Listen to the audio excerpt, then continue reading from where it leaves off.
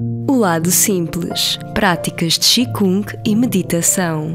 Um livro de António Pato. Deixa que seja o corpo a guiar-te nesta aprendizagem.